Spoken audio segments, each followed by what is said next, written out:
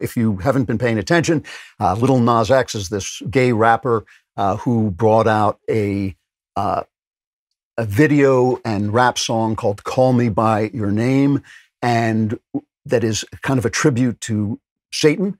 And also uh, brought out these Satan sneakers. He brought out 666 pairs of Satan sneakers. You probably know, 666 in the book of Revelations is the number of the beast. It's thought to be Satan, the satanic number. And he put out these sneakers with the human blood contained in them, and they sold out in about under a minute. And a lot of people were saying this is a, a, very terrible thing. And of course, the left was saying, oh, silly, silly right wingers uh, shouting about Satan. What do they know? And of course, also that there is no Satan. So why is anybody worrying about this? And once again, this is an example. The, the thing that I'm talking about is the fact that Christianity explains the moral world in the same way science explains the physical world so that you don't have to think about science because the physical world just works. And you don't have to think about Christianity because the moral world is what it is. But the problem is, is if you forget science, you no longer can manipulate and work in the physical world. And if you forget Christianity, you actually forget the moral truths it teaches and you become part of the broken system. And that's what I think has happened with Little Nas X. Now, the thing about this video is it, it is quite beautiful. It is visually beautiful, really visually well done. I'm not a rap fan, and I don't think the music is all that good or the lyrics all that intelligent.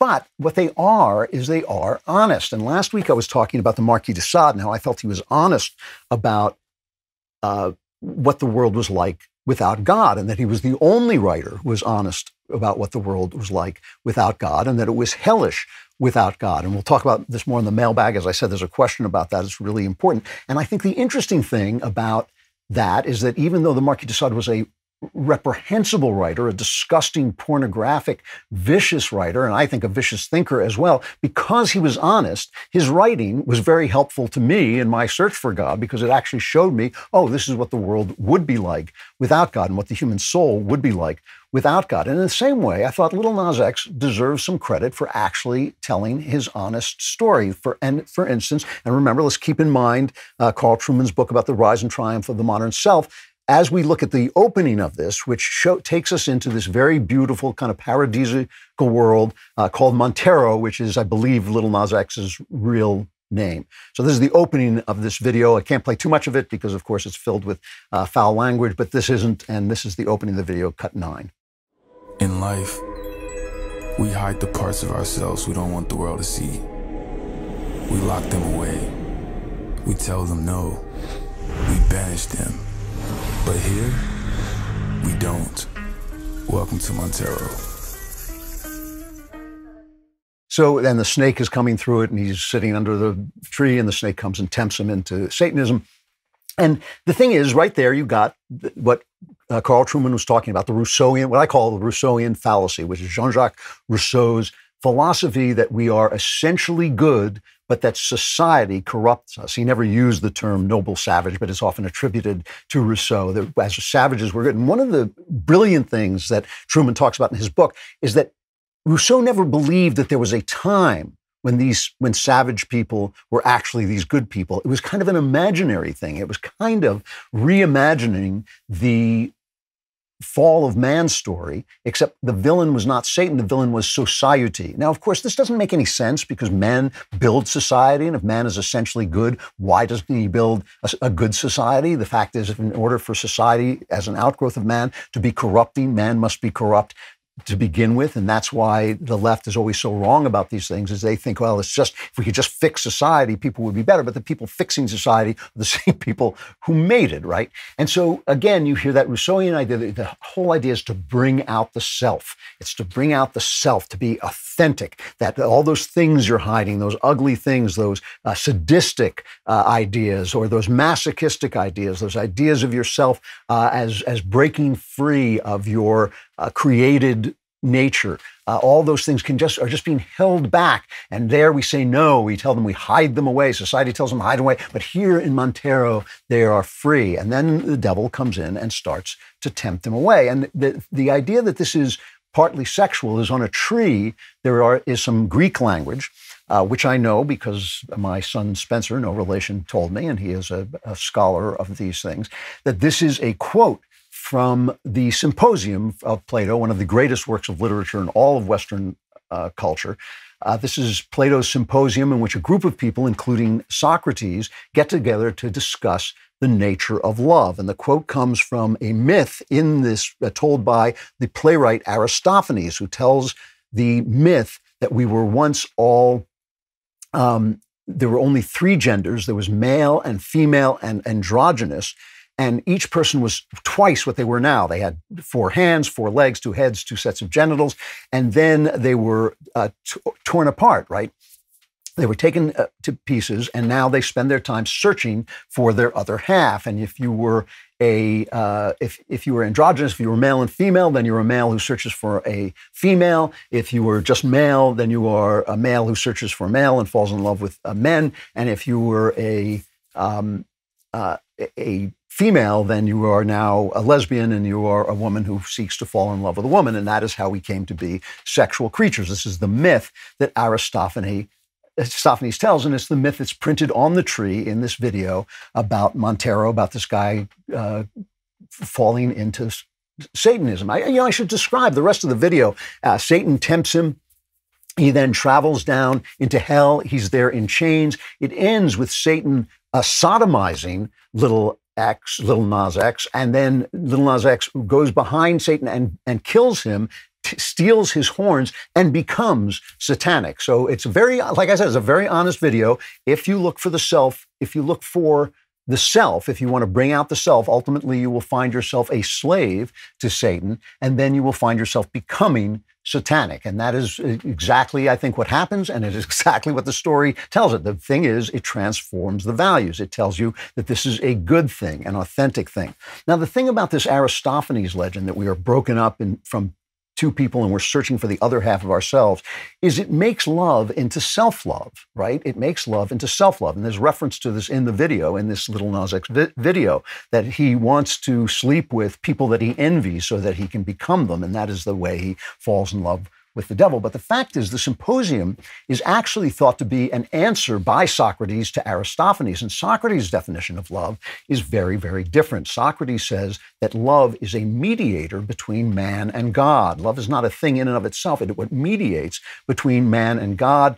And it it basically brings us through the love of beauty and through the love of what is beautiful in eternal nature, not beautiful in nature as we see it, but beautiful in eternal nature. It brings us through that love to unite with God and to become the friend of God and to become immortal. And this, of course, is why uh, Plato is often looked upon as one of the prophets of Christ. Even though he wasn't a Jew, he's looked upon as the Gentile prophet of Christ because that's very much a Christian idea that Jesus is the mediator between man and God. And that Jesus said to says to us, now you are my friend because you know what I'm doing. Before you didn't know what God was doing, but now you know, and now you are my friend. And that is the path to immorality, uh, to immortality. I'm sorry, it is the path to immortality. But the quest for the self leads to hell, where little Nas is sodomized by Satan and then essentially kills him and becomes Satan. He becomes one with Satan. And so the conservatives immediately said, oh, this is a terrible and it's terrible thing that he's selling these sneakers with human blood in them and people are buying them up. And they complained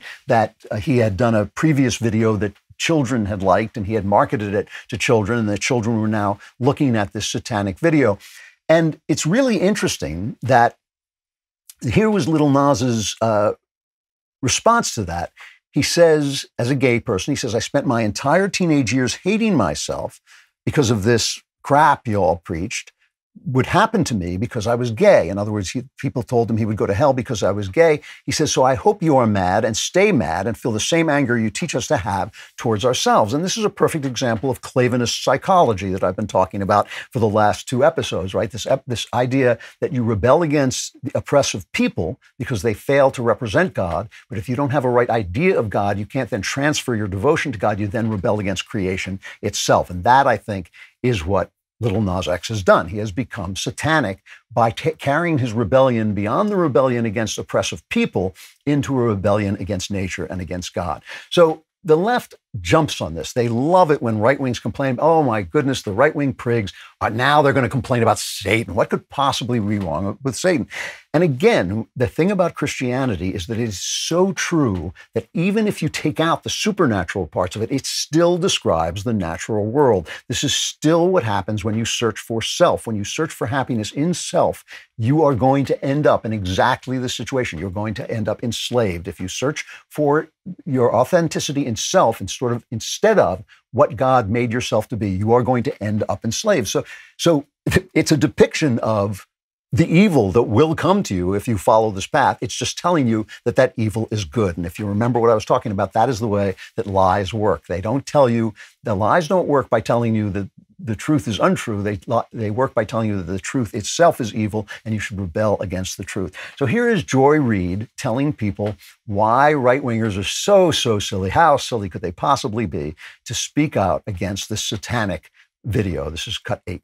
Who run the world? Well, obviously, Lil Nas X. Duh. This week, he broke Twitter again, plus the internets and right wing brains with his new video, Montero Call Me By Your Name, in which he perfects certain pole dance moves, including one of which he's like upside down. Impressive. And also twerks on the devil before killing him.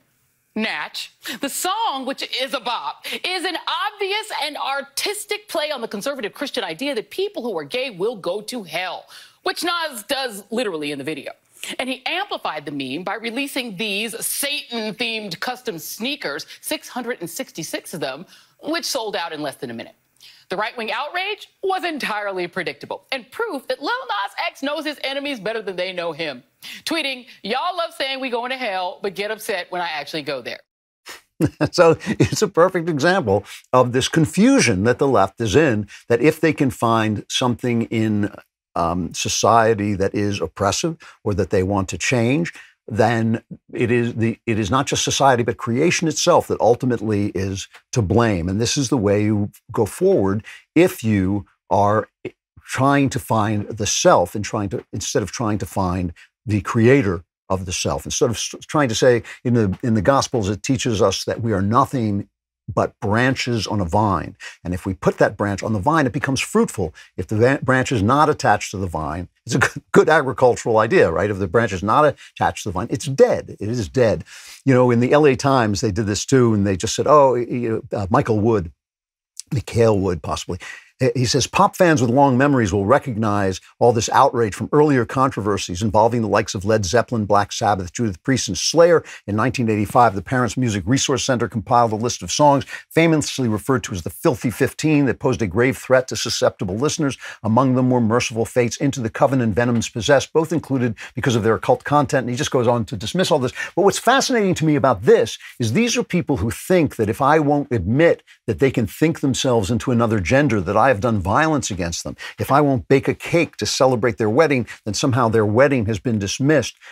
You know, so that, uh, in other words, the opinions that people have are destructive. The ideas that people have are destructive. But here, a guy telling you that you, if you follow yourself, you too can be sodomized by Satan and become satanic. That's not a problem. The idea that the right would then rebel against this is not a problem. And it's an example of the fact that we on the right make make the false argument sometimes that there is no power in speech and that all speech is is permissible because it is all uh, harmless. That's not true. What we are saying is that they are wrong and we are right. And the power of the self is the power of slavery. To become yourself is to become a slave. To become yourself is to become a slave. To become yourself as you were made by God and therefore in, in attached to God as a vine, as a branch of the vine, uh, is freedom. That's that's why it says in the Bible: if you find, if you lose your life, you'll find your life. If you search for your life, you're going to lose your life. So I'm going to give the last word here to a demon, namely Screwtape, who is the demon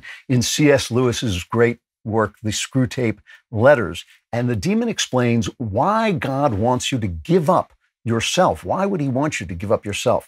And uh, Screwtape, of course, being a demon, calls God the enemy. And he says the enemy wants to bring man to a state of mind in which he could design the best cathedral in the world and know it to be the best and rejoice in the fact without being any more or less or otherwise glad at having done it than he would be if it had been done by another. In other words, he wants you to be as glad of your creativity and your successes and the beautiful things that come out of you as you are glad of the beautiful things that come out of other people. That is not easy thing to do, but it is a possible thing to do. He goes on, Screwtape says, the enemy wants man in the end to be so free from any bias in his own favor that he can rejoice in his own talents as frankly and gratefully as in his neighbor's talents or in a sunrise, an elephant, or a waterfall. In other words, he wants you to see yourself as part of a beautiful creation. He wants you to not be in rebellion against creation. He wants you to be in sync with creation. Screwtape goes on, he says he wants each man in the long run to be able to recognize all creatures, even himself, as glorious and excellent things. He wants to kill their animal self love as soon as possible. But it is his long term policy to restore to them a new kind of self love, a charity and gratitude for all selves, including their own. When they have really learned to love their neighbors as themselves, they will be allowed to love themselves as their neighbors. For we must, we must never forget what is the most repellent and inexplicable trait in our enemy. He's talking about God. He says, God really loves the hairless bipeds he has created and always gives back to them with his right hand what he has taken away with his left. That, that is the truth.